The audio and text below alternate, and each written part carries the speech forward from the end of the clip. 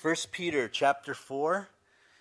We will be looking at verses 8 through 11. The gifts of the Spirit should be exercised within the church. What are the gifts of the Spirit? When you look at the book of Romans, chapter 12, he gives you a list of various gifts. Look at Rome, uh, 1 Corinthians chapter 13 and 14, and he gives you a, several other lists of the gifts of the Spirit. Of the Spirit, meaning that it they are gifts of the Holy Spirit, the third person of the Trinity, that He gives to you.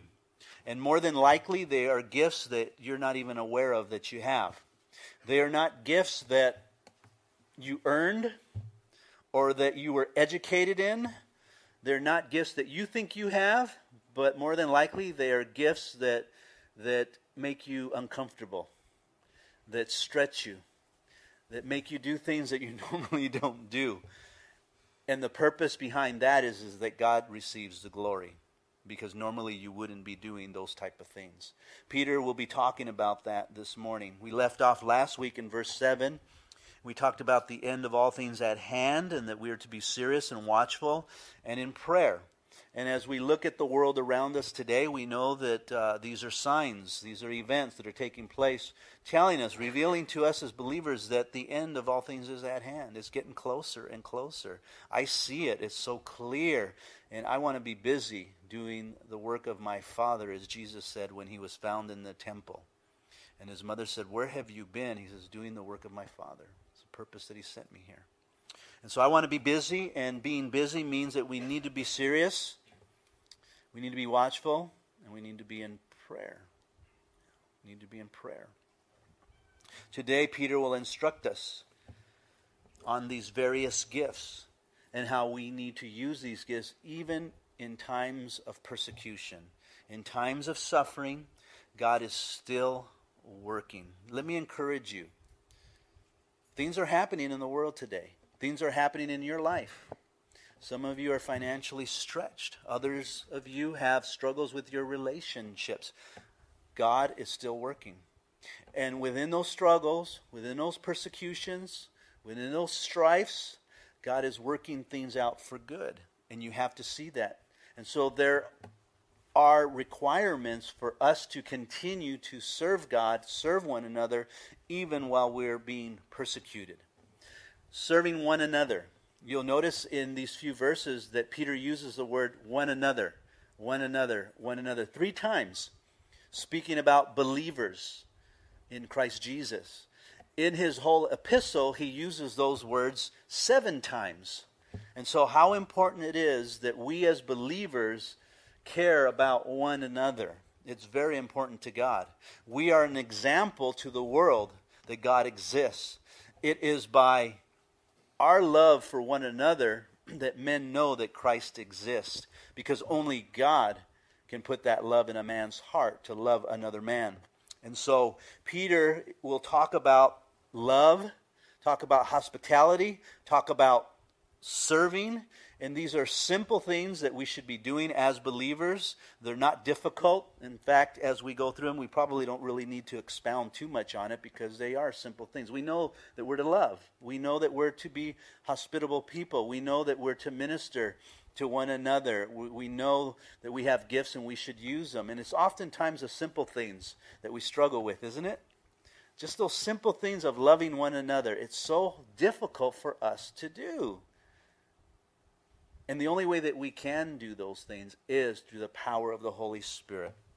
So let's get into today's text and let's look at the first uh, instruction here to love one another. Verse 8. Above all things, have fervent love for one another, for love will cover a multitude of sins. Very simple. Peter says, in light of your suffering and your persecutions, remember to love one another. And remember that when you love one another, there will be times when you need to ignore or cover or allow God to work in that individual's heart when it comes to sin.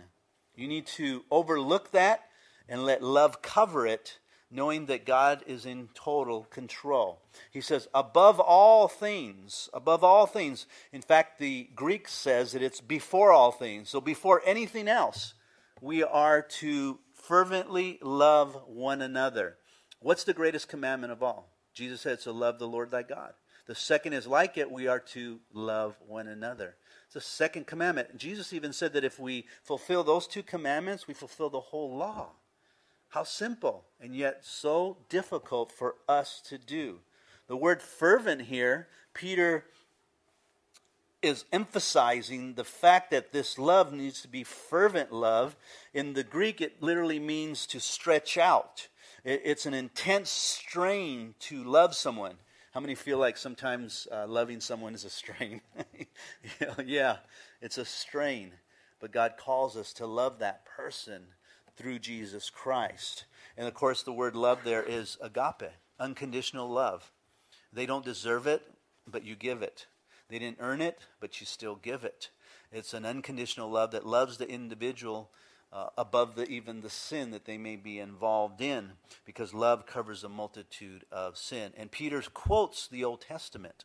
In Proverbs chapter 10, verse 12, Solomon said, Hatred stirs up strife but love covers all sin. When you look to the cross, what did Jesus do? He covered all sin by his death on the cross, by his blood that was shed for our sins. He covered it. He took care of it all completely past, present, and future sins. Let me say it in the Amplified Translation. It says, Above all things, have intense and unfailing love for one another, for love covers a multitude of sin. Now, an example of that, because it is difficult to love people when there's strife within the relationship. Very difficult. It's difficult to love your enemies, and yet Jesus said, Love your enemies. And so it separates us from the world as believers. And if you are a believer in Christ Jesus and you've given your heart to Jesus Christ, you pretty much have asked Him to come into your life and to change your life. You've asked Him to get rid of your old life and to give you a new life, actually. You've promised, you've made a commitment to follow after Him, to be obedient to Him. Not in a religious way, but in a relationship. And so our desire is to love one another, even in spite of the strife that we might have with one another. In Genesis chapter 13 and 14, we have a situation where Abraham will deliver his nephew Lot. Abraham had taken his nephew Lot out of the land of Chaldeans, the land of Ur, and he brought Lot with him to the promised land, in a sense, the land that God was going to give to Abraham and multiply his seed. Well, as they were growing, Lot and his men began to have strife with Abraham and his men. You know what strife is, right? They started to argue. Wait a minute, that's mine, that's not yours. This is my side, this is your side. Stay off of my side, you stay on your side. You know, that's strife. I don't like the way you're doing that. We do it differently. And so get out of here. Let's do it my way. That's strife. You know, whatever the strife could be, they were at strife. And so Abraham saw this, and being the wiser and older, he told his nephew Lot, You choose. Where do you want to go? Because this strife can't continue. We have to separate. He loved him, and he gave him the choice. Lot decided to go to Sodom and Gomorrah. And that's where Lot was found, in Sodom and Gomorrah. And of course, we know that God's judgment came upon Sodom and Gomorrah later on because it was a wicked city. Now, while Lot was there, some kings in the nearby area there decided that they were going to come and attack Sodom and Gomorrah and take all of their wealth. And so, as they went into Sodom and Gomorrah and they destroyed the kings and, and, and took all of their wealth and then took some of their people, Lot was also taken into captivity. Abraham hears about this, and as he hears about this, he tells his men, Aha, that's what Lot deserves. Is that what he said? No. You could say that, though, couldn't you, with some people? How many times have you said that? Oh, they deserve that. Or maybe you didn't say it, but you thought it like, you you know, they sow what they reap. You even use scripture, right? no, Abraham didn't do that, though. He got his choice men, and he went after the kings. and he conquered them and took everything back along with his nephew Lot. See, that's an example of love, even in the midst of strife.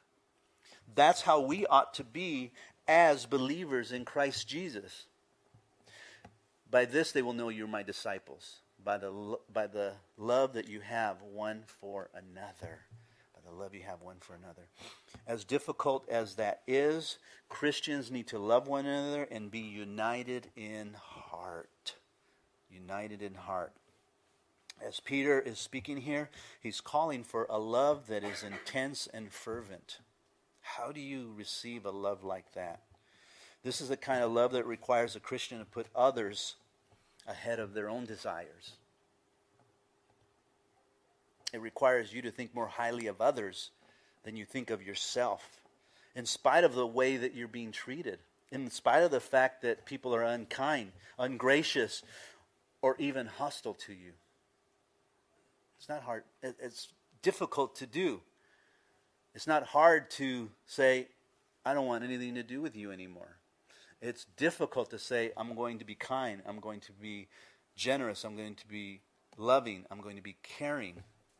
Only God can do a work like that. This is the kind of love that blinds itself from the sins of others.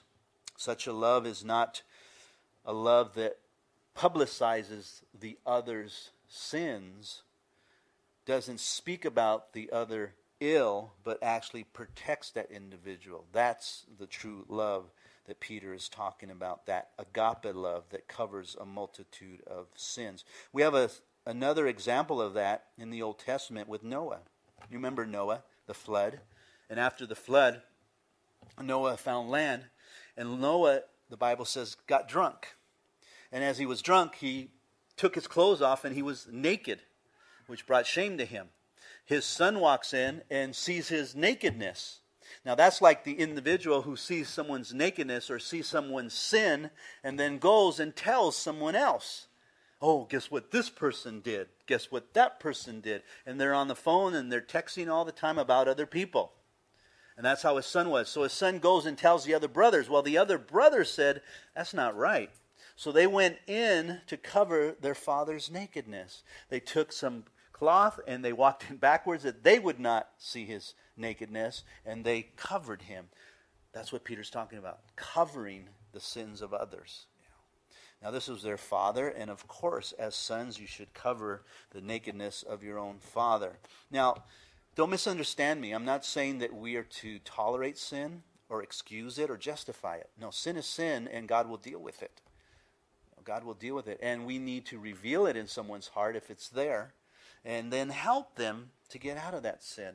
Encourage them to get right with God. Train them, if need be, to not sin any longer.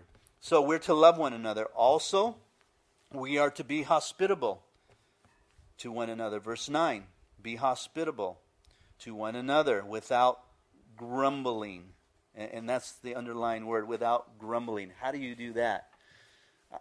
Some don't have that gift of hospitality. They don't like to invite people over to their house. And so when people come over, they're grumbling. I like what Chuck Smith said. There are some people that know how to make you feel at home, and then there are some people that make you feel like you want to go home. You know? It's usually those people that are just comfortable with their house and with who they are that they invite you in. You know, they say that there's a threefold hospitality. One is that you have hospitality to your family. It's different than with others, isn't it? My family comes over, and my grandkids will jump on my couch and lay on my couch and move the pillows all over the place. In fact, they will tell you, This is my house. You know, and I remind them, No, it's not your house. I pay the bills here, I pay the mortgage. You know, you are at my house. Okay, I know all that, but it's my house, you know, and they'll argue with me but they feel comfortable. And so you're, you're hospitable to them because they're your family. But then there are those out of necessity. There are those that, out of being strangers or courtesy or to the poor, or those who, who need charity, where you open up your house because there's a need there. There's a need to meet, and so you're willing to meet that need. You'll be surprised at how much Scripture talks about hospitality. Uh, the Bible tells us in Genesis 18 that, that Abraham, again, Abraham entertained angels. Uh, Paul urges believers uh, to follow after hospitality. 1 Timothy 5:10 tells us to remember Abraham's example of hospitality. And then Hebrews 13:2 tells us do not neglect to show hospitality to strangers. So, hospitality was something that believers did at this time. Oftentimes, when you had evangelists going door to door, the Christians would house them because of the hospitality and as they were spreading the gospel message around or housing even strangers themselves. But yet, it's still difficult to open up your house to stranger. It's something that only God can do in your heart. I remember we were out witnessing at the bus station here in downtown Riverside, and there was a gal there that we were sharing with, and she was going to a home, a rehab home. She had been on drugs, and she was trying to kick it and getting her life straight, but she missed her bus. She was, she was going to have to stay on the streets. And so I opened up our house, and I said, You can come and stay with us for the night, and we'll bring you back to the bus station. That's hospitality. Now, I was careful because I know that bringing people into your home can be dangerous too. So I asked her to, to dump all of her purse and whatever belongings she had, and she dumped them out, and we saw that she didn't have any weapons, and we were able to sleep without any problems. And, and every time we did that, we slept without any problems. We weren't concerned at all. We did it several times. And that's entertaining strangers. Entertaining strangers because we know there was a need there. So again, Peter instructs us to love and to entertain others. Then he instructs us to serve one another. Look at verse 10. Now he starts this statement off with, As each one has received a gift, minister it to one another. Now let's stop and look at the phrase, As each one has received a gift. Now, the picture there of is that believers receiving a gift. Well, what kind of gift is it? The Greek word here is charisma, and it literally means grace or literally meaning to give a gift of grace. So this gift is a gift of grace. You don't earn it, nor do you deserve it, but God gives you a gift of grace. And what Peter is saying here is that it's God who gives you the gifts that you have. It's God that gives them to you. And that's why I said earlier, these are gifts that you don't earn, these are gifts that you can't stir up. You might even think, well, I have the gift of this. That might not be true. Yeah, you're able and are gifted in that, but it doesn't necessarily mean that God gave you that gift. Oftentimes, the gift that God gives you is a difficult gift. You're thinking, why did you give me that gift? I normally don't do this. You know, it's not something that I'm comfortable with. And, and so I really don't like it, but yet God is using you with that gift. And so he gets the glory for using you. I will oftentimes tell people from the pulpit periodically that I'm not comfortable teaching the Word of God. There's a great responsibility there. I will be accountable, especially as a teacher. I've never been a person to stand behind a pulpit, let alone within a crowd, and just speak. That's not me. I'm very shy. I usually will hang around people and be quiet and listen more than anything else. Just went to a, a, a, pastor's meeting and everyone's talking and back and forth, and I'm listening. I didn't open up my mouth. You know, like Chuck says, that you know, if you want people to think you're a fool, just open up your mouth and it will remove all doubt. and so I just like better to keep my mouth shut than all of a sudden they go, wait a minute, what are you doing here? you know? That's just me. And so teaching behind a pulpit is difficult for me. It is strange and it's hard. And I never saw myself doing it. In fact, there are times where I literally my head my head sweats because I'm like, what am I doing up here? You know, and it's like I'm sweating, but you can't tell, and people can't tell, and they think, wow, he's so comfortable up there and so forth. That's a work of the Holy Spirit. It's a gift of God given to me, and so He receives the glory because of it. God gives me that gift, and then I am faithful to use that gift. It's a gift of grace. Can't be earned, can't even be pursued, but or worked for. It, it only be received. It can only be received. So you can't love people. I can't love people. There are people I don't love. I don't like. I don't want to see. But God gives me a love for them. And it's a love that He gives me through the Holy Spirit. I don't want to open up my house to people. I don't want people coming over to my house and looking through my cabinets, you know, because they're in my house.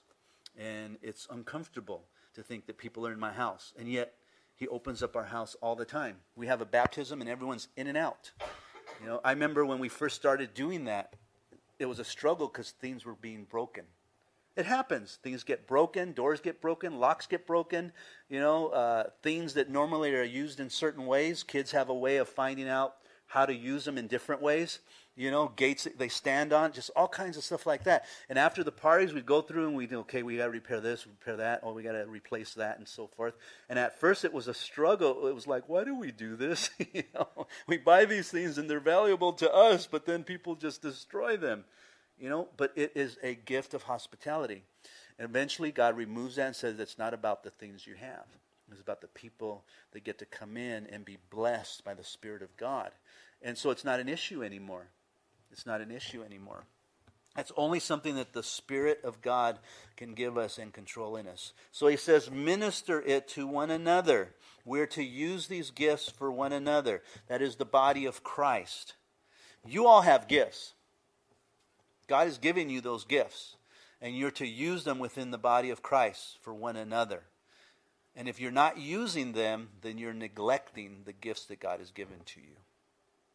And you're neglecting the body of Christ. If you're not loving, if you're not hospitable, then you're neglecting the gift that God has given to you. As good stewards, he says, of the manifold grace of God. Now, what he's saying here is, is that you need to be faithful. You need to use those gifts as good stewards. Stewards are me- member are not people that own things. They don't have their own wealth. They are entrusted with other things. So stewards are using the master's wealth, the master's resources, and they are being faithful with it. That's the key to the gifts that we have. That's the key to uh, being entrusted with the things of God. Some of you are involved with ministry here, with ministry in various ministries, from the children's ministry to the ushers to greeters. There's a responsibility that, that you fulfill those ministries, that you are faithful to that ministry. We're having a ministry meeting. It's a requirement that you come to this ministry meeting for encouragement, for equipment, for strength, to see what's going on with the other ministry meetings. It's a requirement. Uh, it's required that you're here once a week in church. That's a requirement for being in ministry so that you're equipped, you're refreshed, you see the direction that God is moving. And if you're not, then you're not being a faithful steward of what God has entrusted to you. And we want to be faithful stewards of the manifold grace of God. Manifold means of various kinds of gifts. And by the way, they're various kinds. We don't all have the same gift. Don't get upset when someone doesn't understand your gift because only you can understand the gift that you have. Someone else can't. You might have the gift of, you know, compassion, and we should all have that gift to a certain degree, but there are some people that just have this compassion, and it's a gift that God has given to them, and it just uh, over and beyond. And that person that's compassionate can't understand why everyone else is not compassionate like they're compassionate. And so they get uncompassionate at others. You know, and so it kind of works in the negative for them. You need to be careful. You need to be careful. Uh, God is giving you the gift to be faithful with, not others. Okay? So because your ministry isn't growing, because your ministry isn't doing this or doing that, because others aren't involved, it, it has nothing to do with others. God is working in you. He's getting your focus off of others and putting it on Him. God will bring to you like minded people. He will bring to you people that have the same gifts and that will help you in those ministries in time when you realize that it is a gift of the Holy Spirit and He's given it to you and He's given it to others, and you just have to wait for others to come alongside. If others are, are forcing, if they're forcing themselves to do those gifts, it's not going to last. It's not going to last. I, I, see it all the time where people are excited and, and they want to fill in and, and, do stuff, and then just kind of after a while, it's like, ah, it, it, they don't want to do it anymore. It's not fulfilling. It's not something that they see themselves doing for a long time, and so they fade out. And that's when you know it wasn't a gift of God, it was more a gift of their flesh because they wanted to, whatever reason. And so you have to be careful. Now, I'm not saying that you can't help and get involved and see where God is leading you. I think that's a good way of doing that. See where God is leading you and what gifts you may have, and then get involved that way. But to force it, that's the struggle. That's the struggle of the manifold grace of God. Now, He gives us the gifts of love, hosp- hospitality, of ministering one to another, and we're going to see one of teaching. Uh, that's grace. That's grace. He, grace means that He enables you to fulfill that gift. Even in dying, there are many being martyred today in our world. Uh, in some countries, um, I just saw a post where children were beheaded by Muslims because of their Christian faith. This is happening right now. You know, and here we are in America, you know, crying sometimes because we don't have certain material things. And these kids are dying for their faith. And that's a type of grace that God has given to them that they're able to die with honor, with glorifying God in their last words. There's a story and an illustration of this uh, by Thomas Hooker, who died in England in 1555. He was going to be burned at the stake.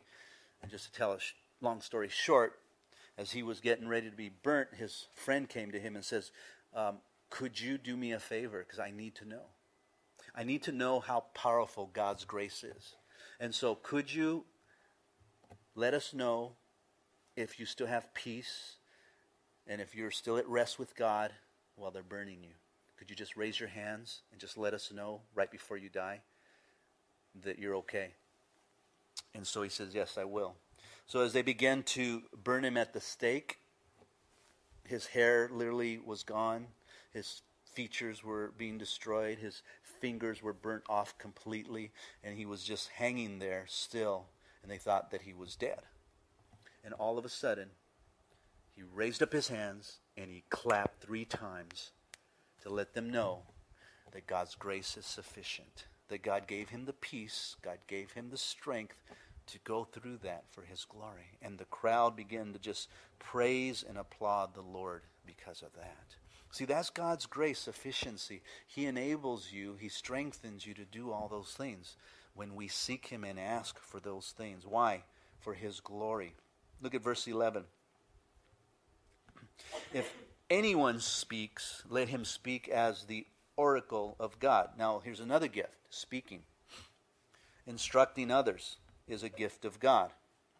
It's not your gift, it's not your ability, it's not your sufficiency, it is God's. As I said earlier, others saw the gift in me before I saw it. I remember my wife would tell me, I see you teaching as a pastor in a church, and I look at her like, You're crazy. I'm like, There's no way I would be teaching in a church as a pastor. There's just no way. I never saw myself doing that. And this was years before I even had the opportunity, she saw me doing that. And I just thought that she was totally nuts. And then people would come up to me and would thank me for the knowledge and thank me for the instructions and various things like this. I still wouldn't believe it. You know? And then God finally had to put me through things and put me in a situation where either I had to deny it or I had to accept it. That this is what God had for me. And so I accepted it. I don't like it at times, you know, because I will step down from this pulpit and I will go, What a knucklehead I was today. I couldn't pronounce that word. I messed that line up. I didn't do this right. Oh boy, it's like it doesn't make any sense to me at all. I'm like, God, how can you even even use something like that. And I walk away some probably almost every Sunday going, What am I doing up there, Lord? And then someone will come along and say, Thanks, Pastor, that was a great message. Even after the, the first service today, it's like, you know, you could apply this to even relationships in our marriages. I'm like, I never even went that way, but the Spirit ministered to them that way. See, that's nothing to do with me. And so I'm like, okay, Lord, it's all you, not me. And so I continue to be faithful and mess up and say the wrong things, and, and God still ministers. because it's a gift of grace. It's His sufficiency. And so Peter here is saying, look, these are the oracles of God, the revelation of God. You are to be faithful as a speaker to speak what God says. Too many speakers are speaking their own words, they're doing their own thing. They're standing behind the pulpits and they're t- giving story after story after story, but they're not teaching you the Word of God. I am glad that I am not a speaker by natural means. You know, just some people have that ability. You know, you, you listen to them and they, they got the gift, we call it the gift of gab. My granddaughters all have the gift of gab. I don't have to say a word. They all talk to me all day long whatever on any subject and it changes from here to there and i just like uh-huh uh-huh uh-huh you know and they just love talking. I don't have that gift you know and so i'm very limited. And so i love the fact that i don't have to have it. I just have to stick with the text and just read it expound on it and leave the rest up to the lord. Because i can't tell story after story after story. I'm not that way you know i'm not that way. You know there are preachers that actually hire people to write their sermons out and so they pay for them, then they study them, and then they give them as though it's their own. See, that's not a gift, that's a career, and that's manipulation.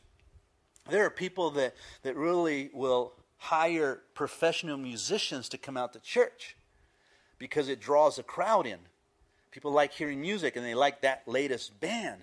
So let's go hear over there because it's free and we get to hear it. And so a lot of churches will use the big name bands because they're drawing people in. Chuck Smith has always taught if you use carnal means to reach carnal people, you'll have a carnal church. Now, carnal means a fleshly church. They're doing everything in the flesh. It's a gimmick, it's a ploy, it's rewards for people being there instead of it being spiritual. So if you're going to use worldly means to reach worldly people, you're going to have a worldly church and you'll be struggling all the time.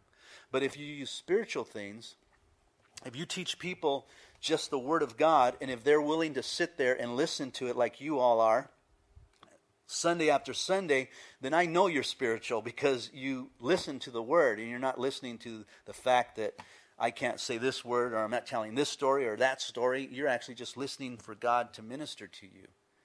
And there are some that come in here that don't like the way that I speak because it's not good enough. You know, so they're looking for someone that's polished. They're looking for someone that, that, that really commands the English language. It's a great orator, you know, and they'll find them because they're all out there. You know, they're all out there. But when you find someone that's sincere and just sharing the word of God, then you have something. And when you share as pastors and as teachers, we need to share the Word of God. We are extensions of God's arms, in a sense. We're not to share our own thoughts. We're not to share even about us because it's not about us. It's about Jesus Christ and what He's done on the cross for us. I remember I'd gone to a, um, a class on the gifts of the Spirit in Costa Mesa, and I really appreciated this instructor instructor because the first thing he said was, I want to explain something to you. Pastor Chuck would love to be here right now. But the church is huge, at that time, like 12,000 people. And so he can't be here. So I am an extension of Pastor Chuck. You will hear what Chuck believes. You will hear from me as though you heard from Chuck. I'm not going to tell you what I believe. I'm not going to tell you what I think it should be. I'm going to tell you what Chuck would say if he was standing right here. And I thought, wow, that's humility, that's understanding of Scripture, and that's understanding of his leadership and his love for his leadership, that he wouldn't do anything but be that example of them. And that's what he did, because I've heard Chuck's messages on the gifts of the Spirit, and he basically just said the same thing again and, and applied it to us. We, as teachers, whether children's ministry, whether in the church or even outside in public, if you do it outside or you're sharing with people, we are responsible with what we share. And we should be sharing the Word of God. These are the oracles, the revelation of God. And so, if anyone ministers, let him do it as with the ability which God supplies. Important, underline that. The ability which God supplies, because that's what I have been saying is that you can't do it in your own strength. It has to be with the ability of God. If you think that you can prepare yourself for it, you can't. If you think you have to wait until a certain age or a certain maturity comes, you know, I think that you're misguided because it has to be God's ability in which He supplies to you. There are great teachers. Pastor Chuck's. I don't know of a greater teacher than Pastor Chuck. The guy is so knowledgeable, and yet he keeps it so simple that we all understand it. If you've never heard him um, outside of the pulpit, outside of the church, just speaking, I mean, he can get so deep that it just goes over your head. But yet he's so great at it that he's able to just give it to you so that you can eat right from his hands. He's just amazing. Amazing. And, and that's the grace that God has had in his life. And he would say that's how Calvary has been established and grown because of God's beautiful grace. Because I'm sure he would say that he has no ability for it either. And so it's God's ability that He supplies to us so that we can fulfill those things. The only thing that we need to do is have faith, obedience, and surrender our own rights. See, I had to surrender my right and say, Lord, I don't like being in this position. I don't want to be in this position. My head sweats too many times. But I surrender myself and I just trust in you eh, that you'll take control. I don't want to love this person. I hate this person. He's an enemy. But I will submit to you and allow you to take control of my life, and I will reflect Jesus Christ. Again, I will be a reflection of Jesus Christ. Why? That in all things God may be glorified through Jesus Christ. That, that's the whole purpose. That God may be glorified. You know, I was sitting in a meeting not too long ago and the whole meeting was around how we teach the Word of God. These were pastors, senior pastors. And they were all about how you teach the Word of God, um, how you present it. Do you have repetitive statements? Um, do you whittle it down? Do you, um, you know, perfect it? And so I sat in this meeting, and again, I didn't, I didn't, I did not say a word. I just kind of uh, let the Spirit of God move and listen and so forth. And it was all great and wonderful because as pastors, we want to better ourselves. We want to study harder. We want to understand and read more and so forth. But the thing that I think was missing in it all, and, and I don't think it was on purpose, I think it was just an accident because we were just trying to look at how we could be better at what we do was was the sense of relying on the Holy Spirit. Because you look out there in the teaching world of Christianity and you have a variety of teachers, right? Variety of teachers. And you get some teachers that are not well spoken, but yet the Holy Spirit has a hold of them and people are saved all the time. And you can't neglect that or discount that because that's the Holy Spirit moving. And then you read something in Acts chapter 4, verse 13, and it says, When they saw the boldness of Peter and John and perceived that they were uneducated and untrained men, they marveled and realized they'd been with Jesus. God literally called uneducated, untrained men. So much so that people saw that, but yet the Word of God was going out and they were marveling at it. Now you might say, yeah, but the Apostle Paul, he wrote most of the New Testament. That's the guy that God used. Wait a minute. Paul himself said, I don't use excellency of words. Apollos is more polished than I am. So Paul struggled with, with, with his teaching and preaching also. What did God use? God used a willingness to say that it's not my gift, it is God's gift, and it's His ability and His sufficiency. And I just put my faith and trust in Him if anything good can come out of this mouth. And that goes for any gift that we have. And then Peter ends by saying, if God receives the glory and honor, it's because all glory belongs to Him.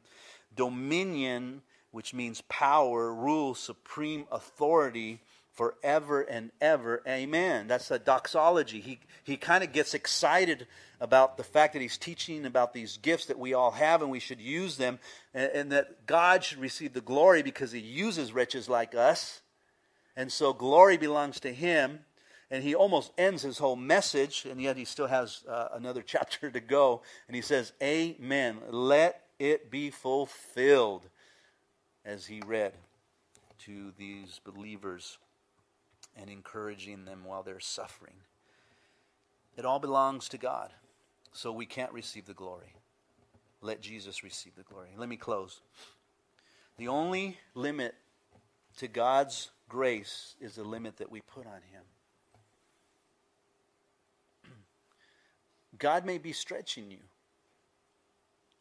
God may be challenging you. And He's trying to tell you it's not about you. And He's not waiting for you to get right. He's not waiting for you to get equipped. He's not waiting for you to be mature. He's waiting for you to surrender to Him. And then He does all that equip, mature, and all those things. God is giving you a gift to use. And so we're to use it for the glory of God, for one another. For one another. There's even a lot lack, lacking in this church. So many gifts that need to be used in this body here. So many gifts that are being used. We have the gift of service here. The servants here are wonderful. You know, after the ladies' brunch yesterday, guys came afterwards and we set everything back up. We cleaned everything. You know, that's the gift of serving. That's the gift of love for the body of Christ. You know, those are the type of gifts that we need. I know it gets difficult at times to serve because we get tired and we're always serving. But what's so wonderful is to see the same guys doing it, doing it, doing it, doing it, and you know it's a gift of God. And it's God's grace and sufficiency. I'm not saying that if you get tired that you shouldn't do it. What I'm saying is that you need to surrender to God. Surrender yourself to Him and know that you're serving Him in that ability. Whether it's serving here to help prepare the grounds, or whether it's in the children's ministry or any other ministry, you're serving Him and for His glory. And so do it to the best of your ability.